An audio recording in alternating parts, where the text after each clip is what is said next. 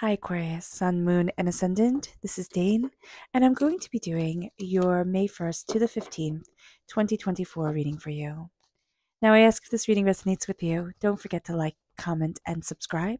It helps me out tremendously. It gets this channel seen by the YouTube algorithm. So, thank you so very much. You guys are awesome. So, let's see what the tarot has to say. Angels and spirit guides show me clearly.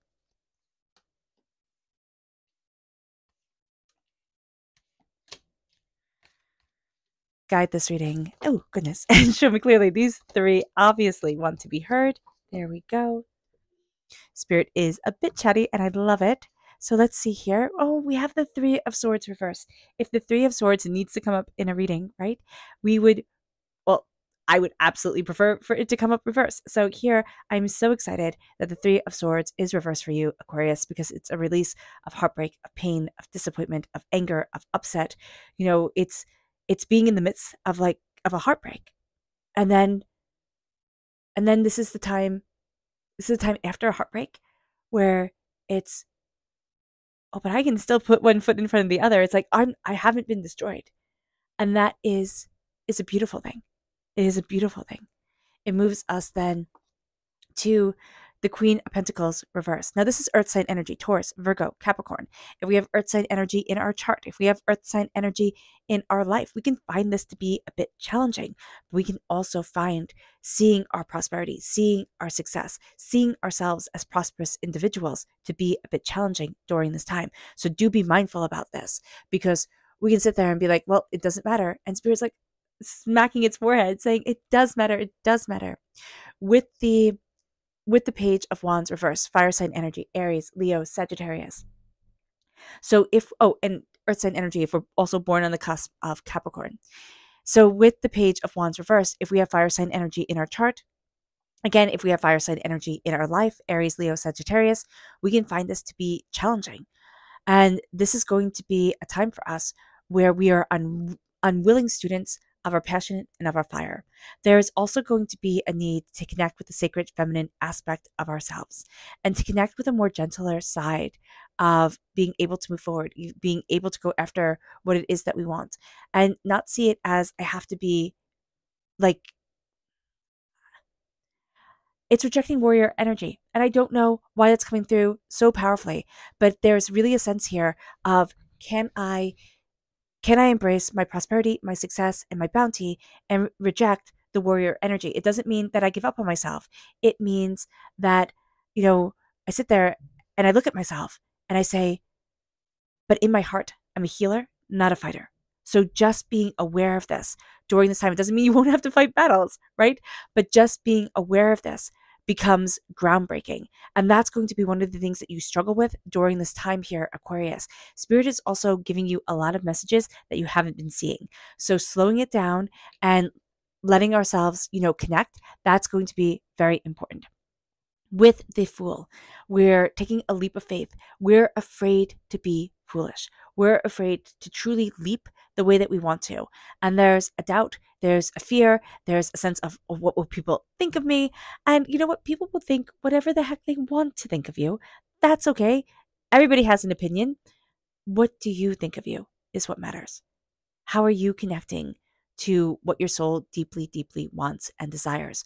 Because there's going to be something that comes up during this time where your heart sings to it. It's like this excitement comes in you, and it's like, oh, but but I can't do that.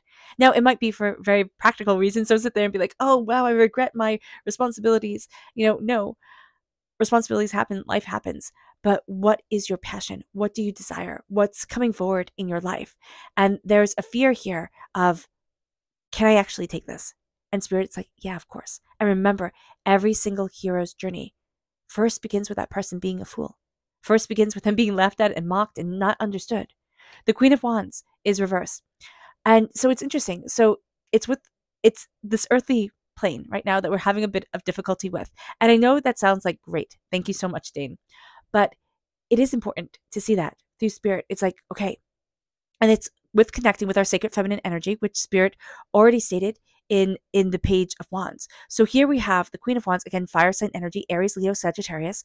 We can have somebody who we can be having a bit of a temper during this time, or somebody is having a bit of a temper around us. We can also be experiencing somebody using money or what we love as much as money as a a power tool against us. So just be be aware of this during this time.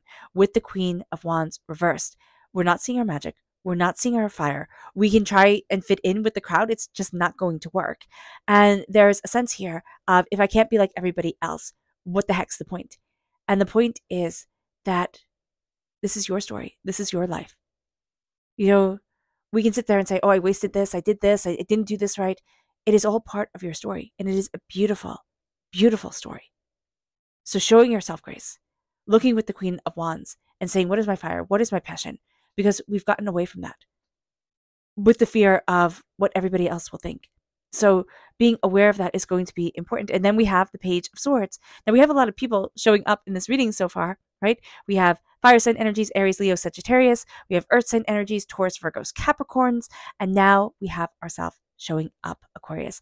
This is water sign energy. No, air sign energy, Gemini, Libra, Aquarius. This is us. We come through as the page, as the learner.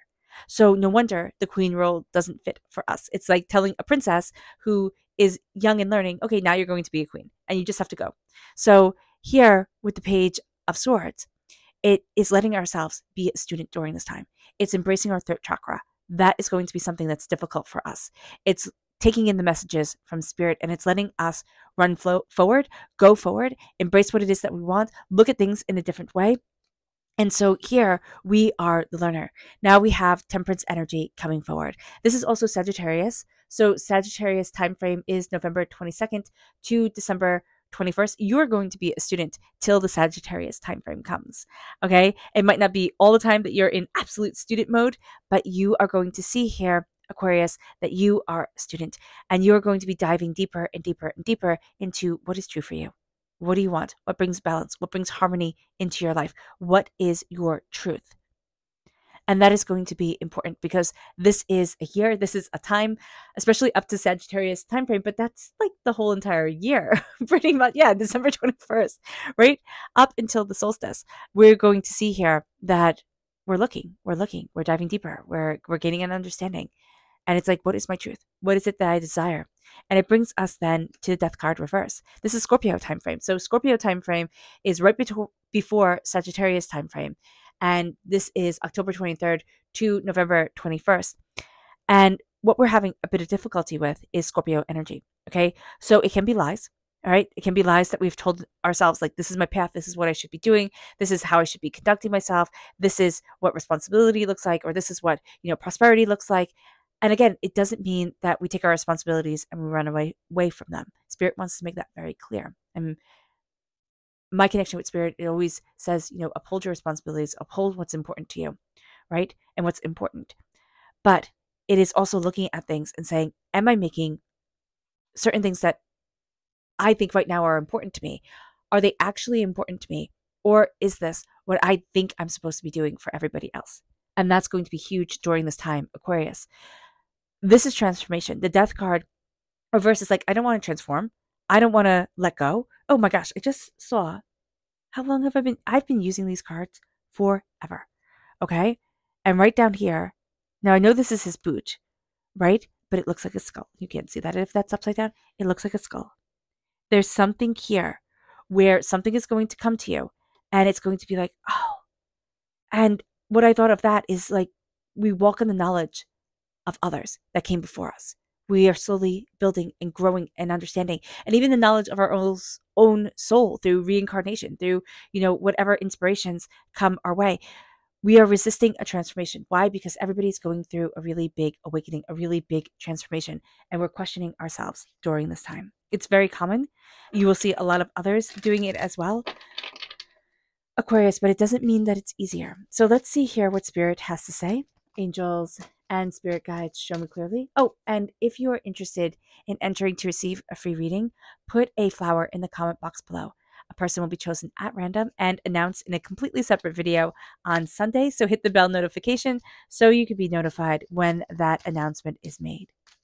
So let's see here. Angels and spirit guides show me clearly. This we have two. We have harmony and we have hope reverse. It's interesting because Temperance is harmony. And and spirit is saying we need to be in harmony with ourselves and we need to have hope again. Hope we can look at as delicious lies we tell ourselves. I've heard that before and I, I, I like that. But I don't like the lies. It's it's delicious expectations we have for ourselves. Those are our hopes. Those are our dreams. That's what we desire. And hoping is so important to getting us to wake up and, you know, embrace the next day to to move forward. We're we're finding harmony. We've been out of alignment with what we, we truly hope for. So do be aware of this, that we can think, oh, it's just a lie. Like hope is just a lie. It's not. It's one of the most powerful things we have as humans to keep us moving forward. Our chakra energy, angels, and spirit guides show me clearly guide this reading and show me clearly, angels. Here we have creativity, and this is the sacral chakra. We are embracing our creativity, we are embracing our inspiration, and this can also this is also why we're doubting ourselves or can be doubting ourselves. You know, for some of us, it's going to be really strong doubts and fears that come forward. For others of us, it's just going to be a, a sense of procrastination. It's going to be a sense of turning away when we think, oh, I should walk forward. You know, so just be aware of this during this time because our creativity, our sacral chakra is burning very, very brightly within us. It brings us then to our energy to be mindful of. Angels and spirit guides show me clearly. Guide this reading and show me clearly, angels and spirit guides. This is the Four of Cups. And the Four of Cups is like, hey, change your mind, change your life type of thing. That's also the Five of Cups, but that's there. There's a sense here of be very mindful because it's just as creativity said to us. We could be focusing on the wrong thing because you know that's just how life works sometimes. With the Four of Cups, we can be focusing on the wrong thing. And divinity is very much wanting us to look at, at things a different way. And we're going to be very stubborn and be like, nope, it needs to be like this. So just know that somewhere within these 15 days, Spirit is going to smack us upside the head, make us see things differently. And we're like, oh my gosh, I didn't realize that. I didn't know it like that. We are releasing a huge heartbreak, pain, disappointment. We could have carried this for years upon years upon years. It could be something new to us. It all depends where we are in our journey. But what we're going to see here is that the first half of May is a time of release.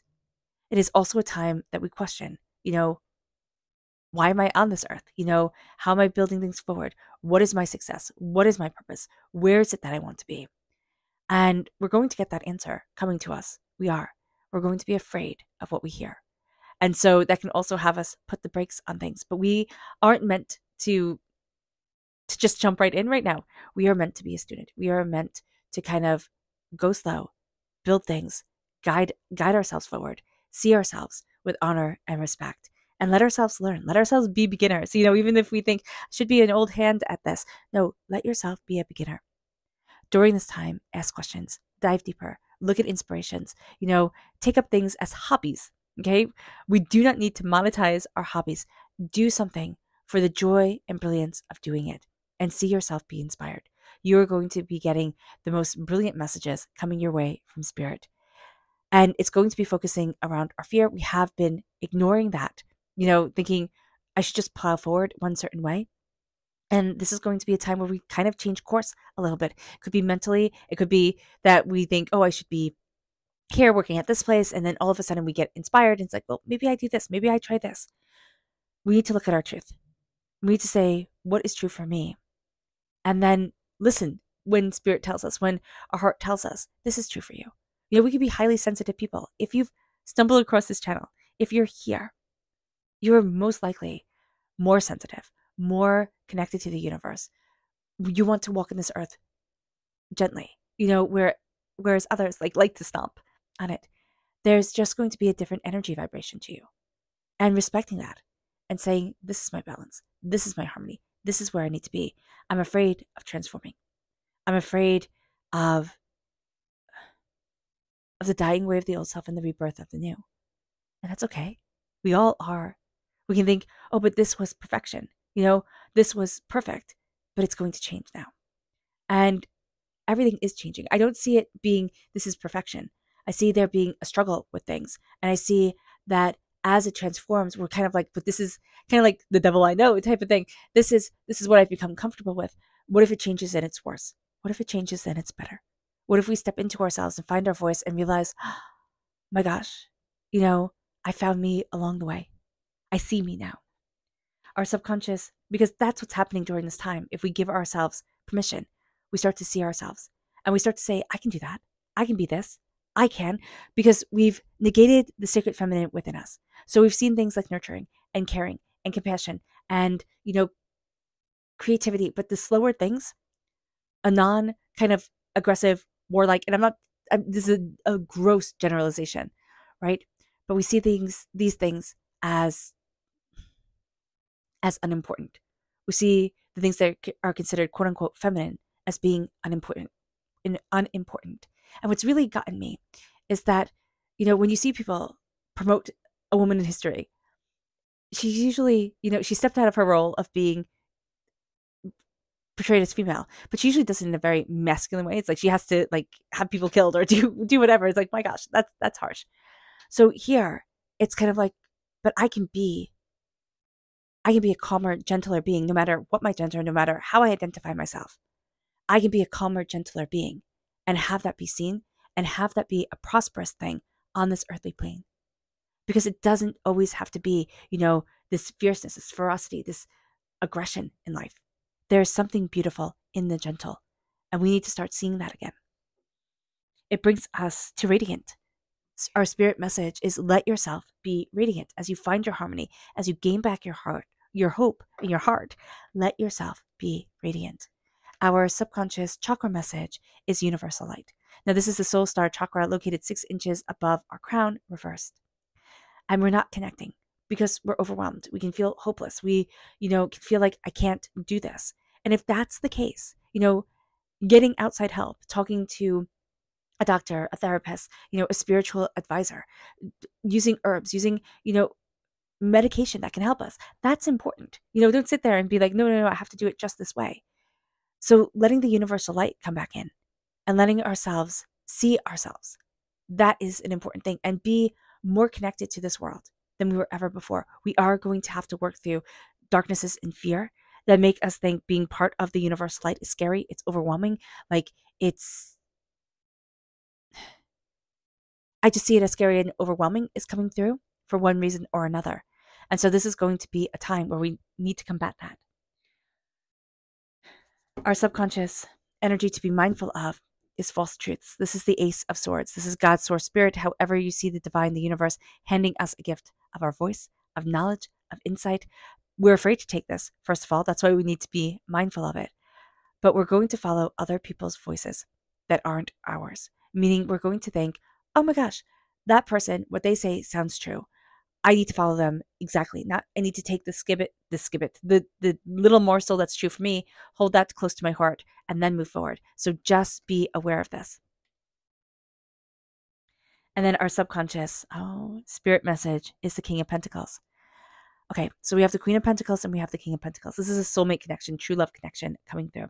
We can be having a hard time with our soulmate. That could be the case.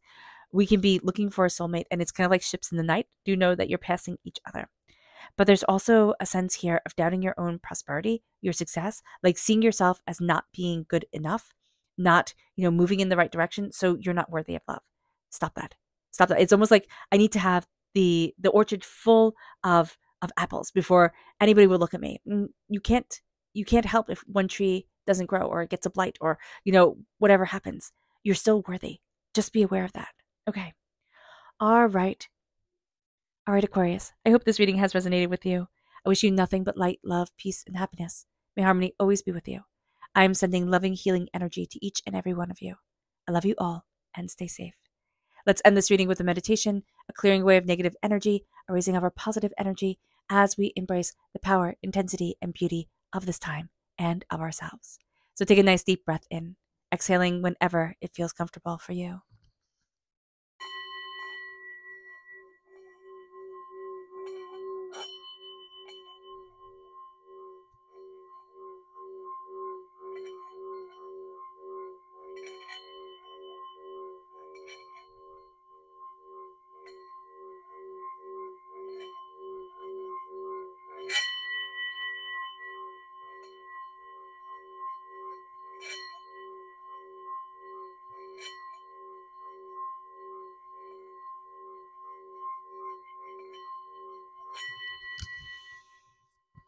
May you move forward in peace and in harmony, Aquarius. May blessings and prosperity always be with you. I love you all. God bless. Bye.